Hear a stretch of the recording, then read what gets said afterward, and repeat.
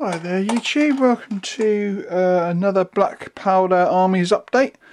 Um, I've got three units uh, to show you guys today. Uh, first of which is uh, the last of my uh, British units. Um, let's bring them into to shot here. Um, and these guys, uh, like I say, are my last British unit from the Waterloo starter box set. So I've actually completely finished all my British side of that box set now, um, and one extra unit of Hanoverians, which which is uh, um, which I'm really happy about actually. Um, and of course that means that the other two units I've done are the start of my French, uh, which is something that again um, you know I've been putting them off for so long. Um, it's it's good to get started, and, and it means that I'm that much step closer to actually being able to have my first game um, which I'm really looking forward to. Um, so let's uh, uh, zoom in on these guys a little bit. Uh, these guys are the 30th uh, Regiment, um, chosen uh, because of their link to my first British unit, which was the uh, the 33rd Foot. Um, and they actually they actually end up coming from the same division. Um, historically, which is which is really cool because uh, I was kind of uh, a little uh, worried about trying to get historic accuracy uh, into my uh, you know my plans of having just such a small um, set of of uh, you know like I'm basically going to end up with sort of like two brigades. Um, and I was kind of worried how to try and make those two brigades somewhat historical uh, because they are so small. But um, at least for my British, um, you know, I've got some sort of link to a historically accurate uh, brigade, um, and uh, I, I, kind of plan to have four uh, infantry units uh, in total um, in my um, fully finished uh, army. And I've actually picked up at the same time as I got the 30th flags uh, flags for um, the 73rd foot and the 69th, which again are all in the same division. So, so that kind of makes me uh, quite chuffed that, I, that I've actually managed to link all my units. So I'll quickly uh, show you through these guys. Um, of course they're just a bog standard British infantry unit, which of course you all kind of know uh, what they look like really, but um, I did kind of, I slightly changed the colour of the grey that I used on these guys uh, trousers and, and uh, the officer's long jacket this time. Um, I don't think it makes too much difference, but uh, it just looked uh, a little bit better to me when I first put, put it onto the uh, the miniature. But once it's like shaded up and stuff, it kind of looks more or less the same as as uh, the original grey that I used, so it doesn't really make too much difference. Um, I think uh, you know, other than that, I think they generally came out more or less the same as as um, as the last British unit I did really, but I'm pretty chuffed with them, and, and of course because they are my last uh, unit of British, I'm happy to have to finish them so far. Um, and of course my plans are to uh, now work on my French. Um, I've got uh, I finished um, two units of those, um, a the unit of Chasseur de Cheval and one infantry unit and that of course leaves me with two infantry units left to finish uh, the French side of the starter set. Um, and of course that includes uh, an extra battalion of, of infantry uh, like my British. Um, so here we have the uh, the rear uh, unit of troops and they uh, have actually got I've actually utilised the, the engineer figure this time think he's a really cool looking figure.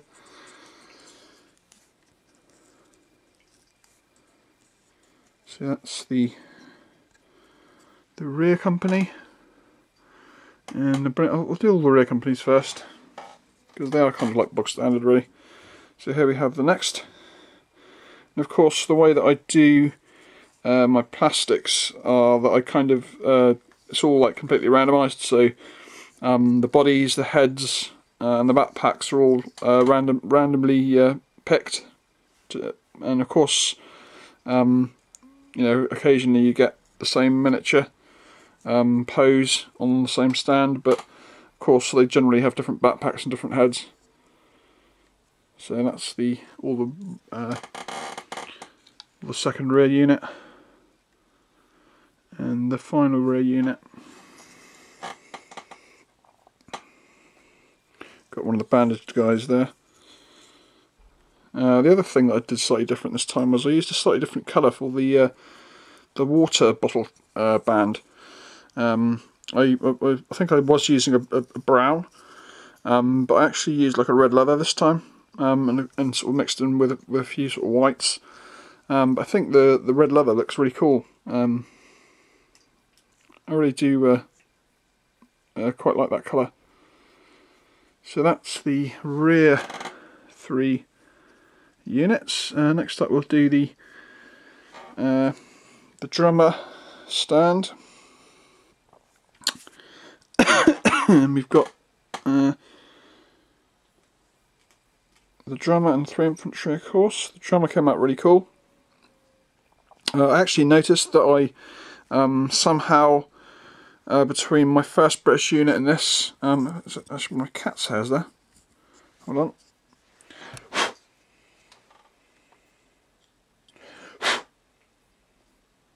There we go, sorry about that. Hate uh, hairs appearing on miniatures.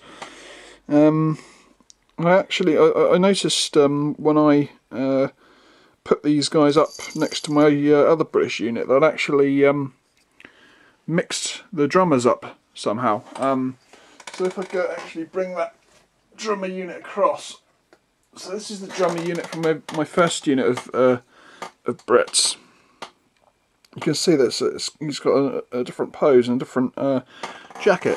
So I obviously mix them up between the Hanoverians and the uh, and the uh, Allied uh, or British uh, command packs. So it's quite cool to have the alternate posed drummer there. But you can see, I, th I, think this drummer came out really cool actually. Uh, this striking yellow um, tunic with the white lace detail.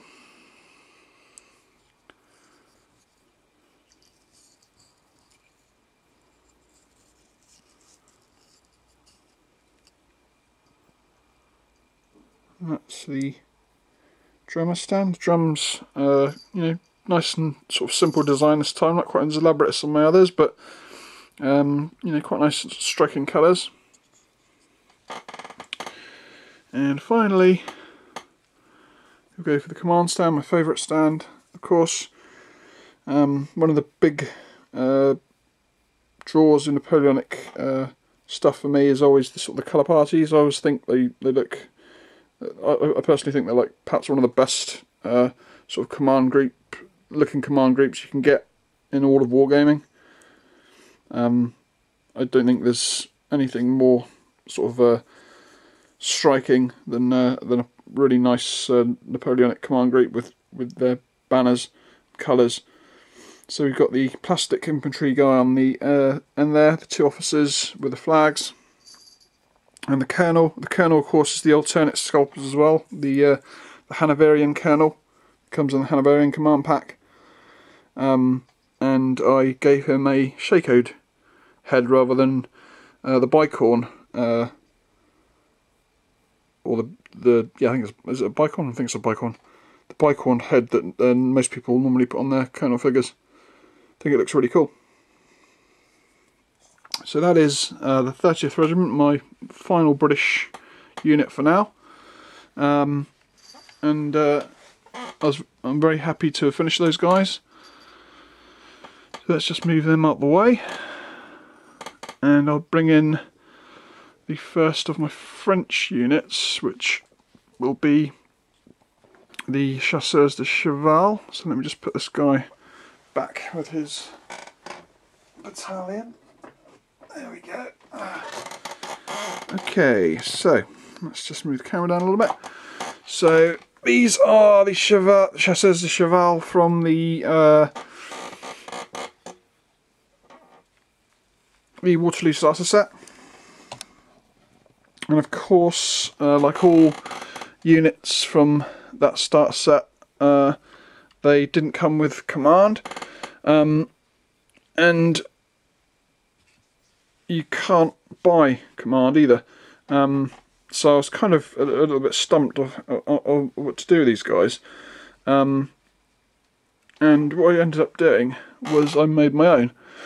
Um, so let's just I'll, I'll, start with the command stand here. So you can see that um, I basically converted a normal uh, chasseur figure and uh, converted his le legs to have uh, full uh, boots rather than like the coverall they normally have. Uh, I trimmed off his um, carbine and his um, cartridge box and uh, obviously painted his uh, painted him up in a more sort of a slightly regal, a more regal uniform, um, given him the gold handled saber, and gave him one of the elite company heads, so that he's got this nice sort of brassard, whatever it's called. Um, and for the cavalryman, or the standard bearer rather, I used a um, a spare saga spear I had, and I drilled through his hand and uh, made this sort of like uh, you know rather uh, poor copy of a French eagle uh, out of plastic putty on top. And I think it came out really, really quite cool looking in the end.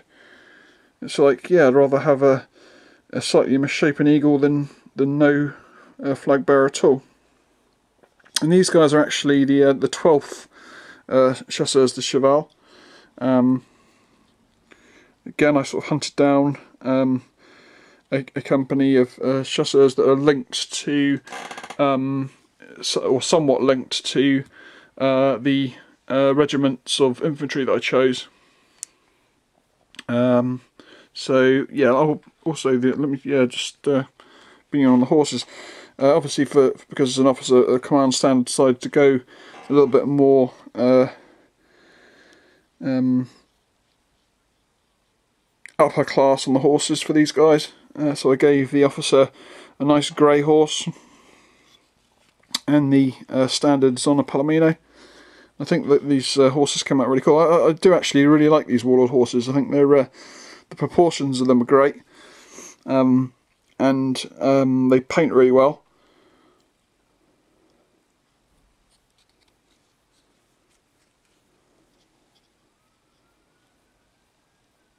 So that is the command stand of my Chasseurs de Cheval.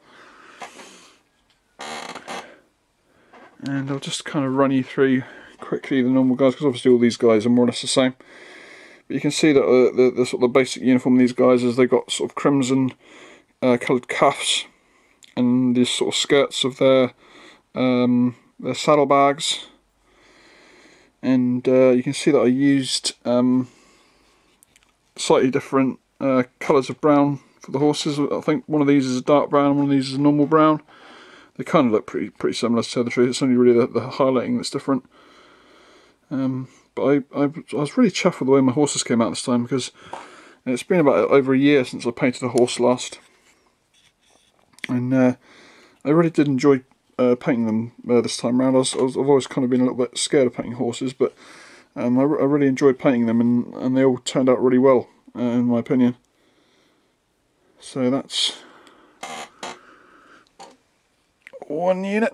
And let's go for this this uh, alternate unit with the uh, this, these guys have got a white horse in, uh, which I think came out really cool.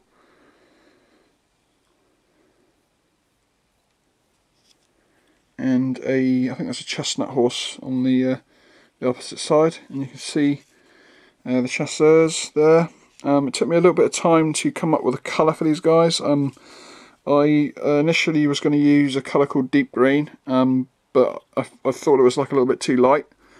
So I ended up using um, a colour called um, military green mixed in with a little bit of uh, uh, that same deep green. And I think the colour that, that came out uh, is um, as close as I can get it to what I've seen in, uh, in pictures and on the back of the Warlord box and stuff like that. Um, and I'm, pretty happy with it overall. So that's those two. And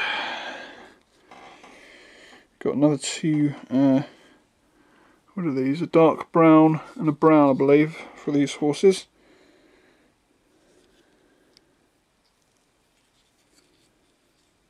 And you see that guy's got an uncovered shako there.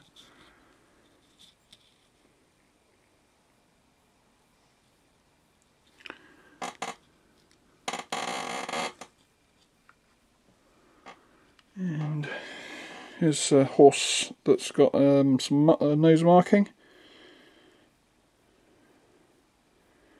Again, a, a kind of uh, there's a lot more sort of browny horses than than other colours in this unit. Um, um, the way that I sort of painted them was um, I did um, I started off with two um, two stands uh, of horses uh, and I basically painted all the horses to about maybe to the point where they're maybe I don't know maybe 90% done. Um, and uh, sort of finished off their saddles. And then I stuck the the then I sort of started painting the uh, the riders and when the riders were about maybe 90% done I stuck them on onto the horses and then uh, finished them all off uh, at the same time um, both rider and, and horse, because there, there, wasn't really too much stuff to do with the horse. Just like picking off, picking out the uh, the bridle wear and stuff. Um, and uh, the riders, um, literally just adding a bit of highlighting to their faces, and um, just doing sort of a general tidy up, uh, which is of course a lot easier to do when you've got a, a big stand to, uh, and a nice mount for the for the figure. Um, so that's uh, the second to last uh, chasseur unit, and then the final um, with another horse with some uh, some markings on his nose. Um, and again, we've got another two uh, slightly different variations of horse. I think there's a, a, again a sort of a brown and a chestnut. Um,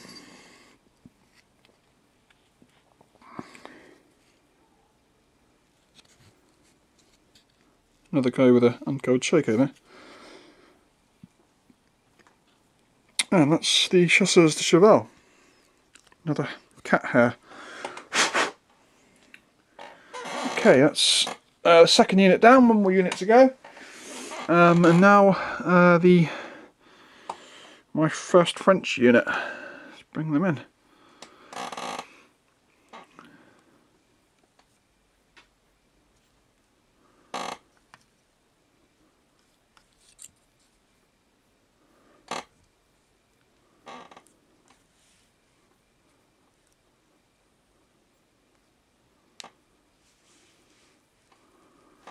Okay, there they are. And uh, these guys are the 34th line, I think.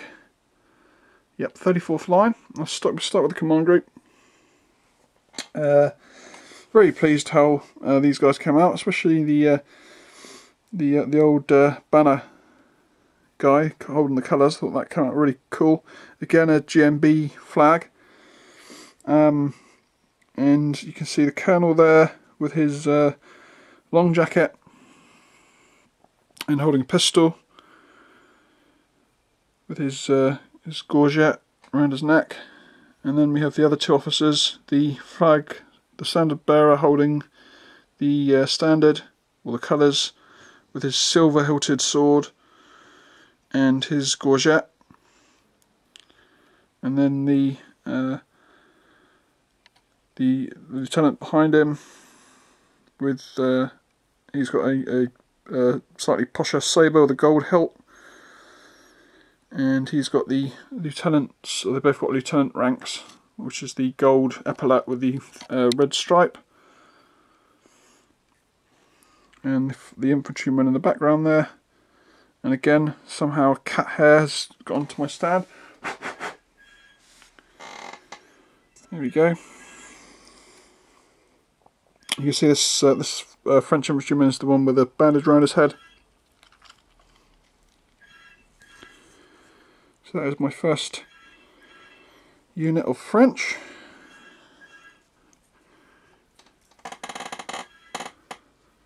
The next unit we have the unit with the uh, the sapper on and the drummer.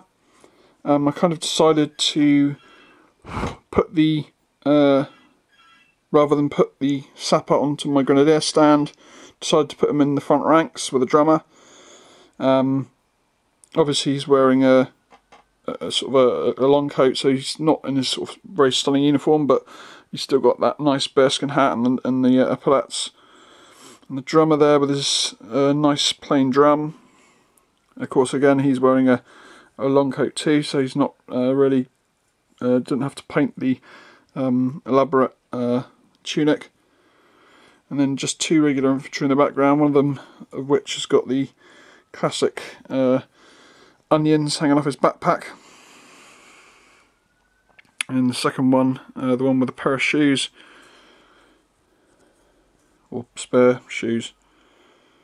So that is the uh, drummer, or the, the, the second part of the, sort of the command sound, I suppose. Uh, next up, a sort of plain unit of uh, infantry. Got this slight sort of mixture of coloured jackets or long coats.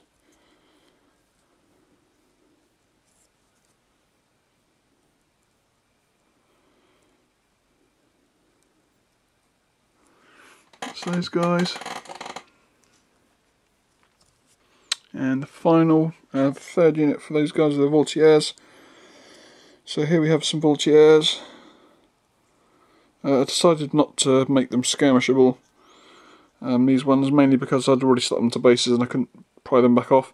Um, here is a classic uh, rookie mistake where I stuck a non-epauletted figure onto the base and he, for some reason, uh, he's absolutely rock solid stuck on there and I can't get him off uh, for, for hell or high water uh, without snapping his legs off.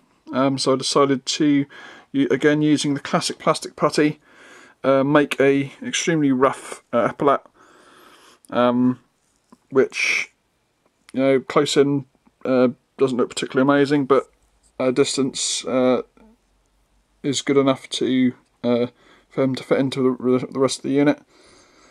Um, only one guy on this particular stand. You'll notice on my Grenadier stand there's actually two.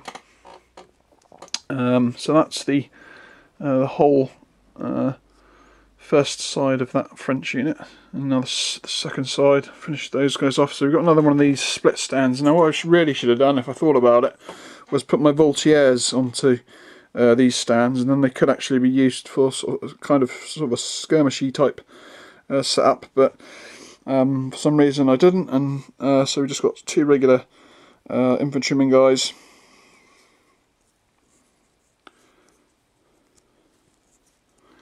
And second lot, another one of those bandaged heads there, along with a guy who hasn't got a shako at all. And funnily enough, he's got an, uh, another row of onions hanging off his backpack. So that is the second or the fourth stand or fifth stand.